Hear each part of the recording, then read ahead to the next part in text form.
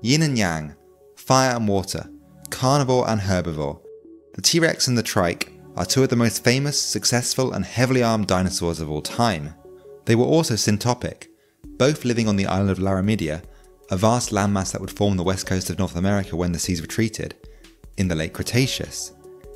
It's as if the dinosaurs were aware their days were numbered and had decided to go out with a bang.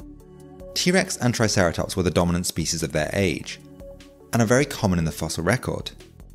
Both also seem to have been particularly solitary for their family groups. Mass mortality sites provide evidence of other ceratopsians like Centrosaurus living in large herds, but Triceratops were mostly solo operators once they passed the juvenile stage. Likewise, we have signs of other tyrannosaurids, like Teratophoneus, hunting in packs, but little evidence for T Rex itself. With all that in mind, it's the perfect situation for a 1v1, and dinosaur media certainly seems to think so. These two animals have been duking it out on screen ever since The Lost World showed their immortal grudge match in 1925. These dramatised encounters tend to follow a familiar pattern. The two massive beasts slowly approach one another. A tense standoff follows, with feints, intimidation, testing for weakness. Then, one or the other gets in a lucky strike, and it's all over. Weirdly, the battle has never happened in the Jurassic Park films, which seem to prefer carnivore on carnivore fights. Online, you'll see constant armchair debate about who would win in this clash of the titans. Some favour the larger predator with its bone crushing bite, others the heavier herbivore. But the topic has been thoroughly covered, so instead of trying to crown a definite champion, I thought it would be more interesting to ask whether these clashes actually took place. What evidence do we have for actual confrontations between these two juggernauts? First up, Triceratops' weapons need more consideration because most of the horniest animals of today evolved their head ornamentation not as a defensive measure against predators, but for intra-species competition and display. And for dinosaurs, it's no different. Scientists have worked out how Triceratops' horns would interlock if they fought like deer or buffalo, and found that their skulls show damage in the exact places you'd expect from this kind of sparring. Although, if this was the only use for them, it would have to mean both males and females fought their rivals for territory, the way dik-diks do today, since ceratopsian horns are not a sexually dimorphic trait, both genders have them. Whatever their primary purpose, most horns can still be used to gore would-be predators. Buffaloes are even known to attack lion unprovoked, starting fights with a preemptive strike. If a murderous monster is coming right at you, you can't run away, and you have two meter long spears mounted on your forehead, it would be pretty weird if you didn't try and do some stabbing. From the T Rex perspective, there's good eating on an 11 ton Triceratops, but most carnivores will avoid a pitched battle as much as possible, targeting young, sick, old, or injured individuals that are easier to catch and pose a much lower risk. For a predator, an injury that reduces the ability to hunt can be a death sentence. So, if this was a relatively even matchup, as many seem to assume, you would expect a Tyrannosaurus to try and avoid it. Still, it's easy to think of a situation where a T Rex might end up tussling with an adult trike, whether through desperation or simply poor judgment. Many scientists imagine T Rex as an ambush predator, so you can imagine a scene where the element of surprise is lost at a crucial moment and a hunt suddenly becomes a fight. We don't just have to speculate though. Let's open up the evidence locker and take a look at some battle damaged bones. In the Hell Creek Formation, paleontologist Denver Fowler identified as many as 18 different Triceratops specimens with Tyrannosaurus tooth marks. These wounds show no signs of healing, and seem to have been inflicted by the theropods devouring dead Triceratops. In fact, there was enough evidence here that a consistent, gory feeding strategy has been suggested decapitation.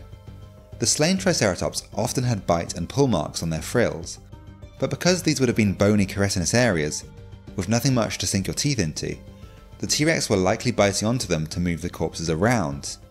They're thought to have had a puncture and pull feeding method like a Komodo dragon, ripping away flesh with powerful head motions. The T Rex would have grabbed the frill with their thickened teeth, which could withstand a lot of lateral force, and pull it to wrench the Triceratops' head forwards and expose the juicy neck meat underneath. And bite marks made on the neck joint and base of the Triceratops skulls from behind suggest the predator actually used the frills as a handle to rip their heads clean off. So that sounds pretty messy, and as more specimens are identified with bite marks, it's sounding like Triceratops was more hapless victim than respected nemesis. But I have to wonder, Was it fully grown specimens in this study, or smaller targets? And annoyingly, the answer is I don't know. No paper has been published on this research yet, so we can't check the details. I did notice though that the few specific examples described by Fowler are of subadult or juvenile Triceratops, but bite marks have also been found on adult skeletons, like this example written about in 1996, where a T Rex chewed right through a Triceratops pelvis. It seems fully grown T Rex could feed on both adult and young Triceratops, but there's no good data on which was more common.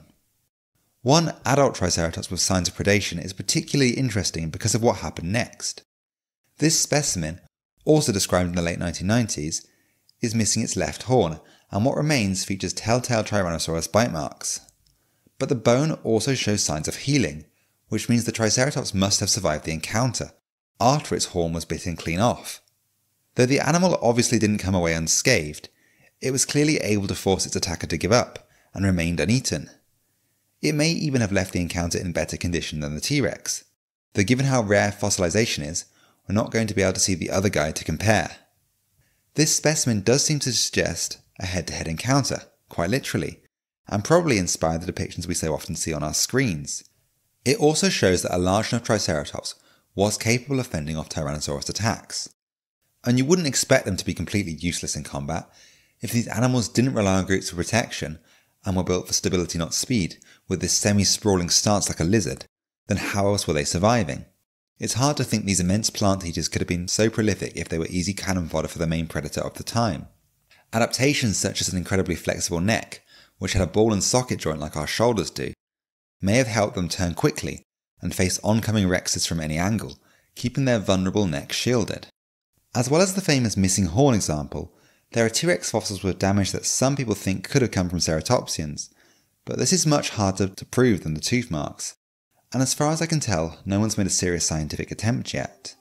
An even cooler specimen has only just made its way to a North Carolina museum in 2024, after languishing in private collections for decades and following a prolonged legal battle over the ownership rights.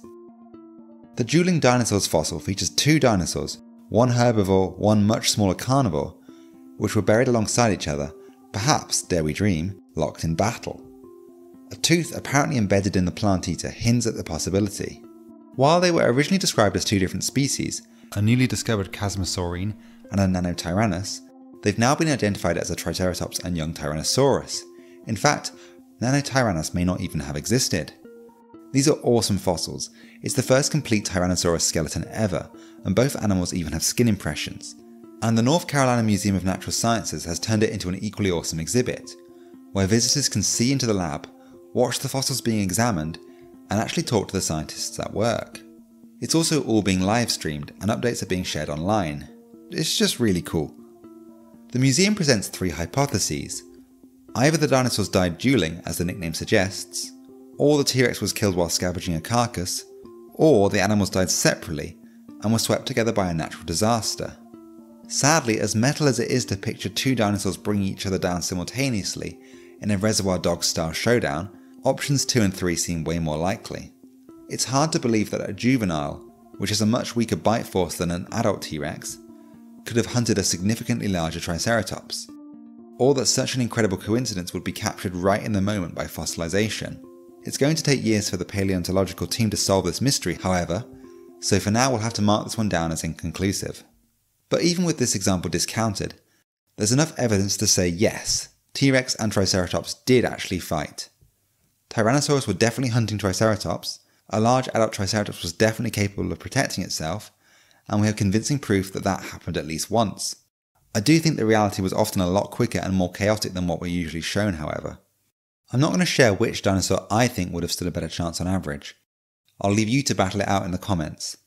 And of course, neither stood a chance against the true apex predator of the late Cretaceous period, Big Rock. Perhaps as the meteor came crashing down to cause the KT extinction, a T Rex and a Triceratops were in the middle of a standoff. Now that would be cinematic.